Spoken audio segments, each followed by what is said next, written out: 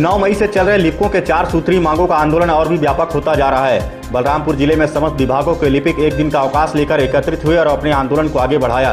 लिपिकों ने धरना स्थल पर एक दिवसीय धरना देते हुए पूरे शहर में रैली निकालकर शासन के खिलाफ प्रदर्शन किया। उसके बाद नारेबाजी करते हुए समस्त लिपिक कलेक्ट्रेट पहुँचे और मुख्य सचिव और राज्यपाल के नाम कलेक्टर को ज्ञापन सौंपा और अपनी मांग पूरी करने की बात कही। लिपो ने बताया कि साल 2013 में चुनाव के समय भाजपा ने अपने घोषणा पत्र में जो वादे किए थे, उसमें आज तक पूरा नहीं किया जा सका है। लिपिक संघ उसी को पूरा करने की मांग कर रही है। लिपिकों के चार सूत्री मांगों में पदोन्नति, वेतनमान, वेतन विसंगति और सातवें वेतनमान का एरियस भुगतान शामिल है। फ़िलहाल मांग पूरी नहीं होने पर आगामी 26 जुलाई से अनिश्चितकालीन हड़ताल पर जाने की चेतावनी दी गई है। कर्मचारी फेडरेशन के द्वारा विधानसभा 2013 के चुनाव में जो मुख्यमंत्री जी ने वादे किए थे, उन्होंने वो वादे पूरे नहीं किए। उस परिप्रेक्ष्य में आज फेडरेशन के द्वारा एक दिवस का आकस्मिक अवकाश सभी कर्मचारी, अधिकारी लोगों ने लिया है। और उसी परिप्रेक्ष्य में आज ये ज्ञापन सौंपा गया है। जो उन्नीस इक्यासी से ही वेतन विसंगति चली आ रही है उसको दूर करने की मांग हमारी चल रही है। इसमें तृतीय चरण में हम लोग आंदोलन के तृतीय चरण में काली पट्टी लगाकर एक तक जून से 26 जून तक काम किए हैं और विरोध प्रदर्शन प्रदर्शित किए हैं। अच्छा विसंगति में किसी प्रकार का अभी तक शासन के द्वारा कोई आप लोग का सरकार से हमने कई चरणों में प्रयास किया और अपना ज्ञापन सौंपा है। लेकिन अभी तक इस संबंध में कोई पहल नहीं है जिसमें आज हम लोग आंदोलन के चतुर्थ चरण में एक दिवसीय सामूहिक अवकाश लेकर और लिपिक कर्मचारी संघ के चतुर्थ चरण का आंदोलन है आज एक दिवसीय अवकाश। इसके बाद भी यदि हमारी मांगों में कोई विचार नहीं होता है तो 26 जुलाई से छत्तीसगढ़ के समस्त कार्यालय बंद करके समस्त लिपिक अनिश्चितकालीन आंदोलन में चले खाटू श्याम जी कस्बे में हुई पहली बरसात में ही अस्पताल की पोल खुल गई है। मानसून की पहली बरसात में अस्पताल की लेबोरेटरी जननी शिशु वार्ड सहित क्वार्टर में पानी भर गया है। लिहाजा वार्ड की हालत काफ़ी खराब हो चुकी है। प्रबंधन ने बरसात के कारण मरीजों को एक दूसरे वार्ड में शिफ्ट किया है, किंतु अस्पताल प्रशासन स्थायी समाधान की तरफ़ ध्यान नहीं दे रहा है। आपको बता दें कि छत से पानी टपकने की वजह से फर्श पर पानी इकट्ठा हुआ। उसके बाद मरीजों सहित परिजनों को काफ़ी दिक्कतों का सामना करना पड़ा। फ़िलहाल अस्थायी व्यवस्था कर दी गई है। उदयपुर वाटी कस्बे में स्थित श्री टोंडरमल पीजी महाविद्यालय परिसर में बीएससी फाइनल में 80 प्रतिशत से अधिक अंक प्राप्त करने वाले छात्र छात्राओं को माला पहनाकर व मिठाइयाँ खिलाकर सम्मान किया गया। इस दौरान महाविद्यालय के principal doctor T N Ojha ने माँ सरस्वती की प्रतिमा के सामने दीप प्रज्वलित कर कार्यक्रम की शुरुआत की। उन्होंने कहा कि आज के समय में पढ़ाई करना बेहद ज़रूरी है। जो बच्चे पढ़ लिख कर आगे बढ़ते हैं, उनका सम्मान समाज और देश करता है। अच्छी पढ़ाई कर छात्र छात्राओं को आगे बढ़ना चाहिए। मैं इस बार मैंने टोरमल कॉलेज से बीएससी थर्ड ईयर किया है और मेरे काफ़ी अच्छे मार्क्स आए हैं। आज हम लोगों का वेलकम किया गया किया गया है कॉलेज में और हमें आगे के लिए भी काफ़ी मोटिवेट किया गया है।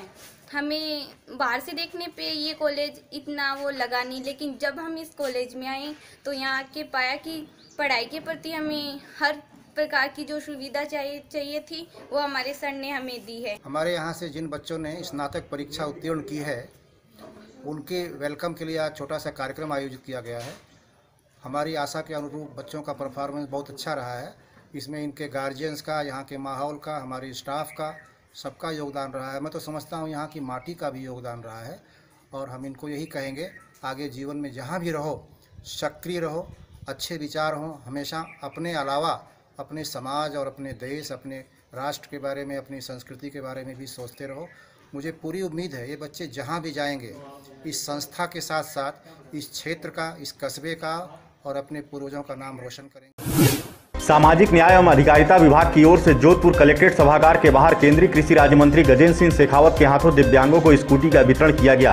इस विशेष योगदान शिविर में कुल पचपन आवेदन आए थे, जिसमें से 40 को स्कूटी वितरण की गई। इनमें 16 से लेकर 30 वर्ष की आयु के नियमित छात्रों को स्कूटी प्रदान किया गया।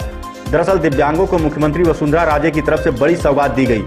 ताकि दिव्यांगजन भी समाज में अपनी बराबर की भागीदारी निभा सकें और जीवन में एक बेहतर मुकाम हासिल करने में उन्हें किसी प्रकार की कोई दिक्कत ना हो।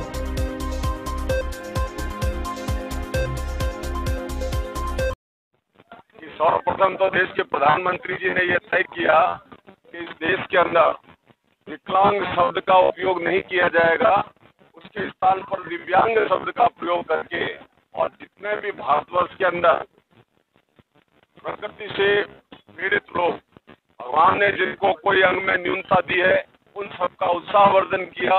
और उसके बाद लगातार दिव्यांग कहलाने लगे।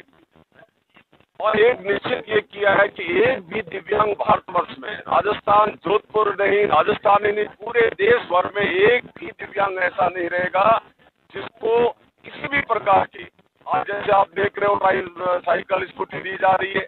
और उपकरण जितने भी होंगे, सरकार की तरफ़ से उपलब्ध होगा। मैं धन्यवाद देना चाहूँगा हमारी मुख्यमंत्री वसुंधरा राजे जी को। उन्होंने भी इस योजना को संकल्प के साथ में लिया है और पूरे संपूर्ण राजस्थान के अंदर ये कार्यक्रम चल रहा है। उस क्रम में हमारे माननीय मंत्री महोदय, राज्य मंत्री जी पधारे हैं और अपनी तरफ़ से ये कार्यक्रम जो है हम सब मिलकर आयोजित कर रहे। शहर के रातानाडा एरिया में मंगलवार को हुई दिन दहाड़े लूट के मामले में पुलिस ने 18 घंटे में खुलासा करते हुए बड़ी सफलता अर्जित की है। पुलिस वारदात के कुछ घंटे के बाद तीन लोगों को गिरफ़्तार कर लूट की राशि व वारदात में प्रयुक्त चाकू व मोटरसाइकिल जब्त किया है। आपको बता दें कि दोपहर को ग्यारह लाख बीस हज़ार रुपए जमा करने रातानाडा के यूको बैंक प्रार्थी जा रहा था। इसी दरमियान बैंक के पास की गली में तीन युवक नकाब पहने उसके नज़दीक आए और चाकू से उसके हाथ पर वार कर रुपयों से भरा बैग छीनकर भाग गए। बताया जाता है, चाकू के वार से वह जख्मी होने के साथ हड़बड़ाहट में गिर गया। इस घटना की जानकारी पर रातानाडा पुलिस घटनास्थल पर पहुंचकर मुआयना की। कड़ी मशक्कत के बाद पुलिस सीसीटीवी फुटेज और आसपास के लोगों के बयान के आधार पर उत्तम सिंह तक पहुँचने में सफलता हासिल की। इसी के साथ बयान के आधार पर दो अन्य पकड़ाए आरोपियों ने भी अपना जुर्म कबूल कर लिया है। तीनों आरोपियों के निशानदेही पर तीनों से अलग अलग राशि बरामद की गई। फ़िलहाल आरोपियों से अभी भी पूछताछ जारी है।